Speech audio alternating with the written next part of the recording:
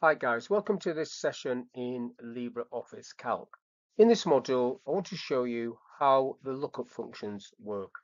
I'm going to have a go at a basic lookup, a VLOOKUP, and a HLOOKUP. So on the screen, I've got those three examples set up, and then on a separate sheet, I'll go through them one by one.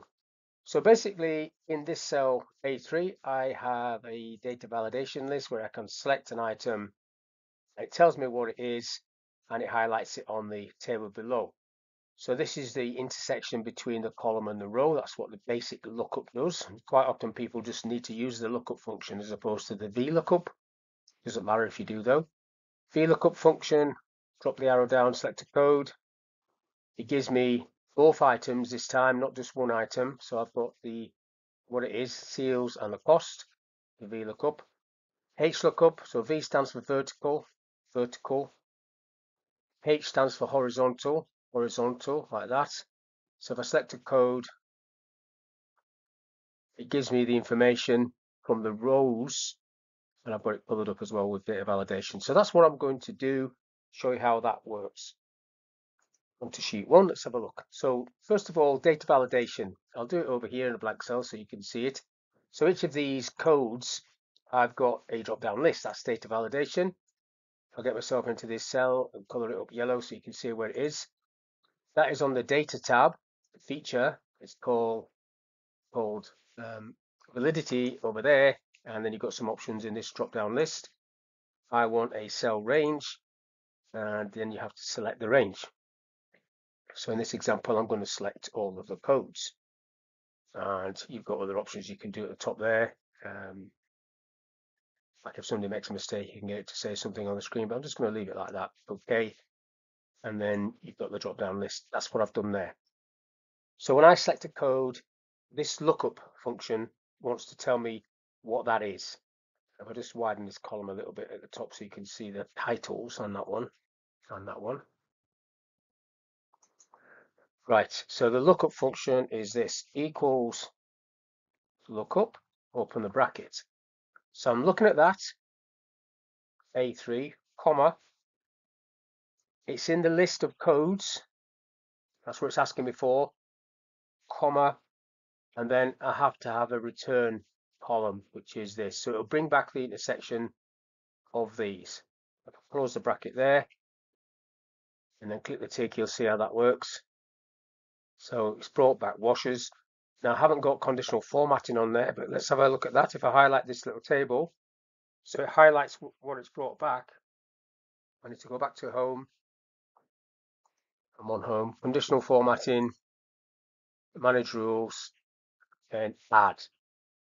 So in this case, I want uh, not cell value is, formula is, and then it's this.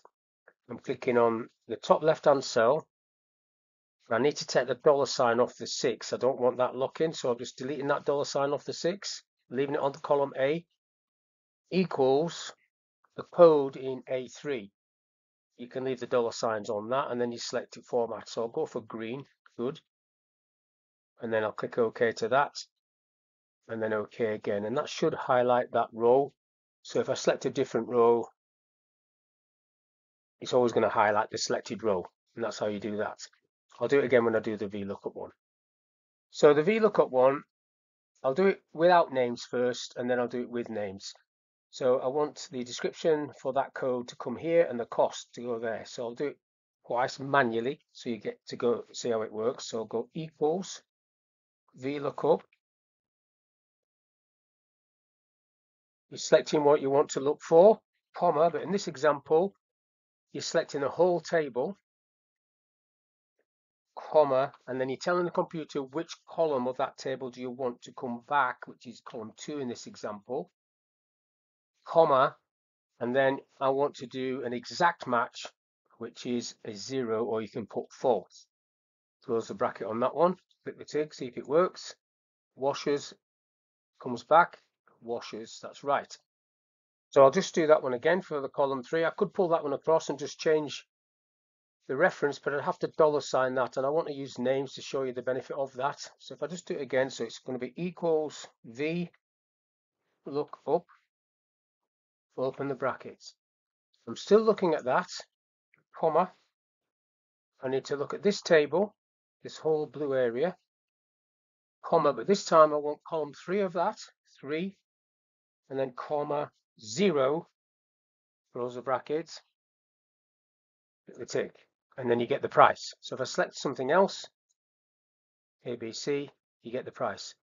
I'll do the conditional formatting again. So highlighting all of that, conditional formatting manage, add, selecting the formula option again, formula, and then the formula in this case is going to be if that top left hand cell with the dollar sign off the six, delete that off, so you don't want to lock that, equals a code in E3, that's good, so that'll be green, good, okay to that, okay again, and then that highlights that one as before, whichever you select it highlights. Now what I want to show you also is a quicker way of doing that, slightly quicker way of doing that by using names. So I'm clicking into this code box. I'm going to call that code. So this top appears a name box. I'm typing code, pressing enter. So that's now called code. And this table I'm going to call product. Clicking in there, product. You must press enter. So now I can do these again. If I just delete these two off. So it's going to be equals VLOOKUP. This time I can type the word code. It knows what code is, comma. That's a, code is E3. Product is the table name, product. So you type product, comma. Still need to put a 2 for the column and comma 0 as well. See what happens here. Still works. And I can pull that across. I don't need to worry about dollar signs, but what I do need to do is click back on that and change the column reference from a 2 to a 3. And I'll probably have to make that back into money as well. So that's using names. Now HLOOKUP is horizontal lookup, looks exactly the same. In terms of structure anyhow, syntax, if I type it out, equals HLOOKUP. I'm looking at that, comma, I'm looking at this little blue table, comma. Now, not column two I want, I want row two. So ABH, ABH, this one. So it's row two. That's row one, that's row two, that's row three.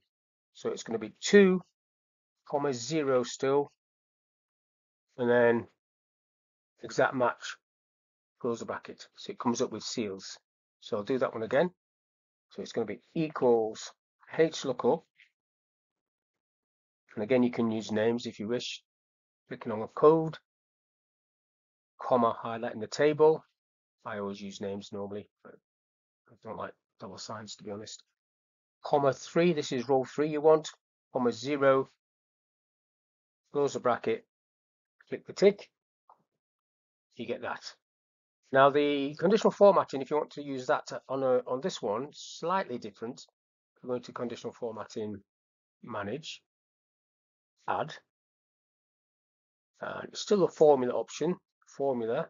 So this time it is if that top left hand cell and the dollar sign you need to take off here is not the last one, it's the first dollar sign. You need to get rid of it on the column J. So delete the dollar sign. So it's just the five that's locked equals, and then you click in I3 in this example, and then you select in the color. So we'll go for the same one, green. Okay, okay, okay. And then it does that.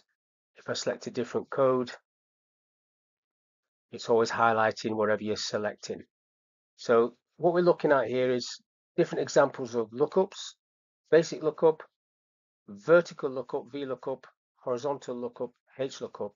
We've also had a look of how to do a validation list, and we've also looked at how to do conditional formatting using the formula option.